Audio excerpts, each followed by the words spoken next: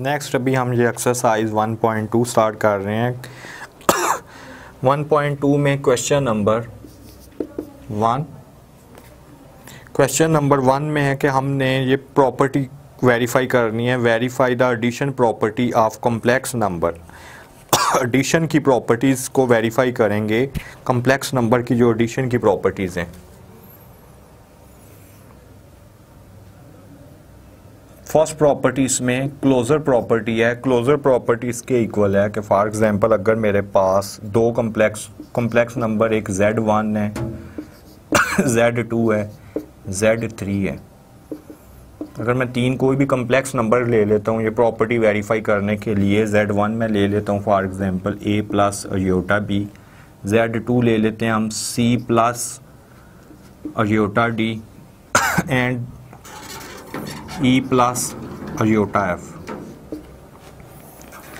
ये हमने three complex number ले लिए हैं Z one Z two and Z three अब इसमें से अगर मैं क्लोजर प्रॉपर्टी को वेरीफाई करना चाहता हूँ तो क्लोजर प्रॉपर्टी होती है Z one plus Z two Z one plus Z two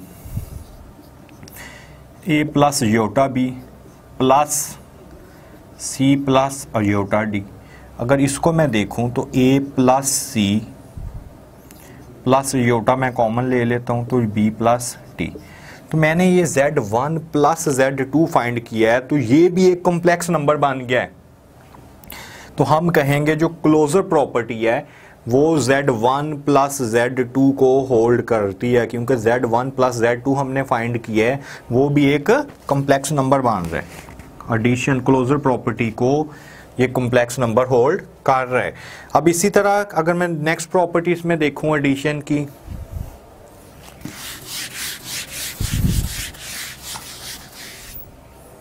addition की नेक्स्ट प्रॉपर्टी एसोसिएटिव प्रॉपर्टी है। एसोसिएटिव प्रॉपर्टी ये होगी कि अगर मैं Z1 one plus Z two plus Z three find करूँ तो ये Z1 one plus Z two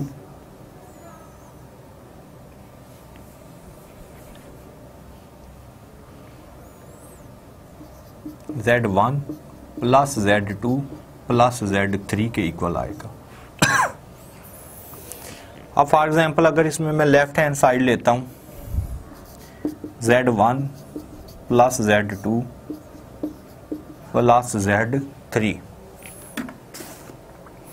ये हम ले रहे हैं तो जेड वन है ए प्लस और योटा बी के इक्वल प्लस जेड टू है सी प्लस अयोटा डी के equal and Z D E plus iota F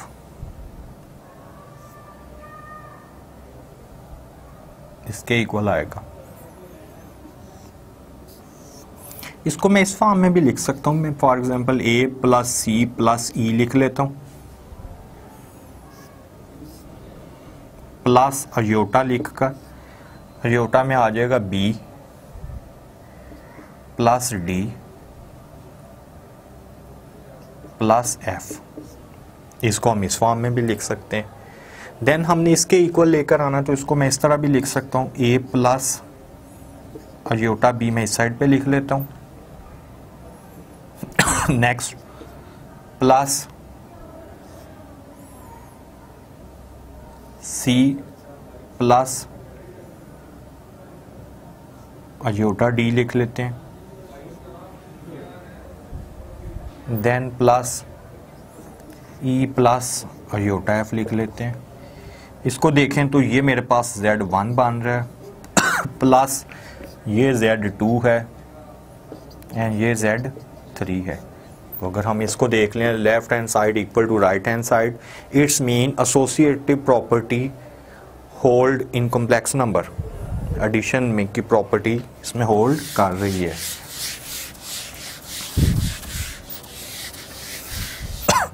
next इसमें आइडेंटिटी प्रॉपर्टी आती है। Properties of addition in complex number third property अगर हम देखें आइडेंटिटी प्रॉपर्टी या आइडेंटिटी प्रॉपर्टी में ये होगा फॉर एग्जांपल मैं कहता हूँ ज़ीरो एंड ज़ीरो एक और कॉम्प्लेक्स नंबर है। ए बी मेरे पास कॉम्प्लेक्स नंबर पहले ही था। अगर इन दोनों को मैं ऐड करता हूँ A B plus zero zero it's mean ये रियल पार्ट है, ये इमेजिनरी पार्ट है। ए प्लस अरियोटा बी में फाइंड कर रहा हूँ। प्लस ये आएगा ज़ीरो प्लस अरियोटा बी तो अगर मैं इसको सिंप्लीफाई करूँ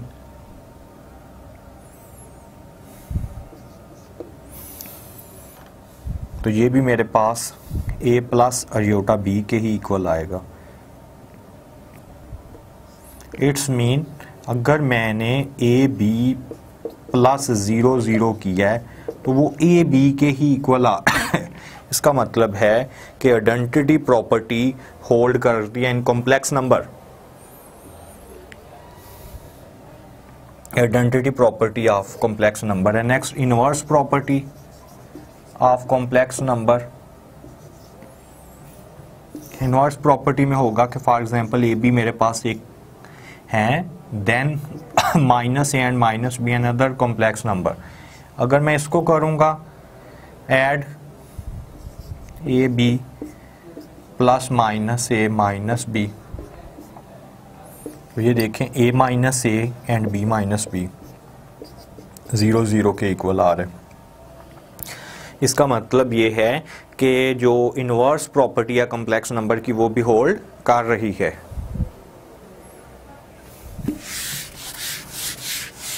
यानी फोर प्रॉपर्टी थी, इसमें एक तो क्लोजर प्रॉपर्टी थी एडिशन की नेक्स्ट एसोसिएटिव प्रॉपर्टी थी आइडेंटिटी प्रॉपर्टी ऑफ़ एडिशन हमने देखा है next inverse property of addition देखा। अब इसी तरह जैसे क्वेश्चन नंबर टू है, इसमें हमें कह रहा है कि verify the multiplication property of complex number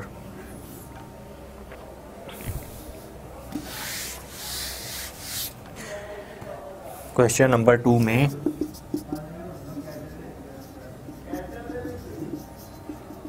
multiplication properties of complex number.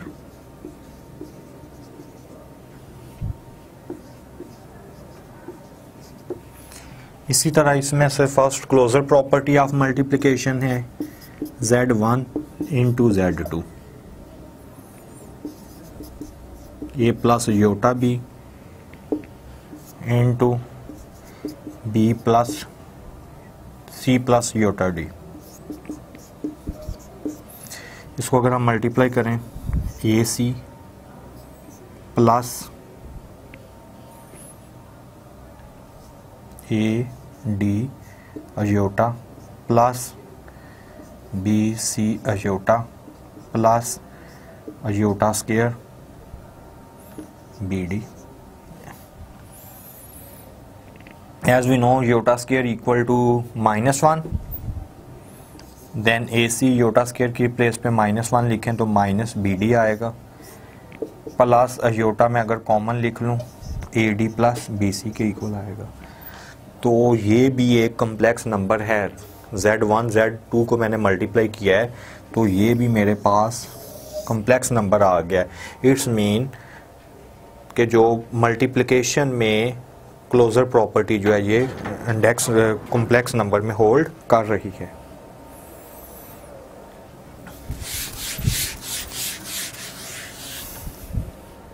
Closure property के बाद अगर हम इसकी एसोसिएटिव प्रॉपर्टी देखते हैं तो इसकी भी एसोसिएटिव प्रॉपर्टी इसी के इक्वल होगी कि z1 one into Z two Z three equal to Z one और Z two into Z three same जैसे हमने एसोसिएटिव प्रॉपर्टी में प्रूव किया था कि जो लेफ़्ट हैंड साइड है, वो राइट हैंड साइड के इक्वल है। सेम ये इसके इक्वल आ जाएगी। सेकंड प्रॉपर्टी इसकी ये थी। नेक्स्ट अगर हम थर्ड प्रॉपर्टी देखें तो थर्ड प्रॉपर्टी है इसमें, अगर इसमें देखें तो आइडेंटिटी प्रॉपर्टी ऑफ़ मल्टीप्लिकेशन है। आइडेंटिटी प्रॉपर्टी ऑफ़ मल्टीप्लिकेशन में होगा कि फॉर एग्जांपल अगर मेरे पास एक नंबर है कॉम्प्लेक्स नंबर ए बी और हम एक और कॉम्प्लेक्स नंबर लेते हैं। One zero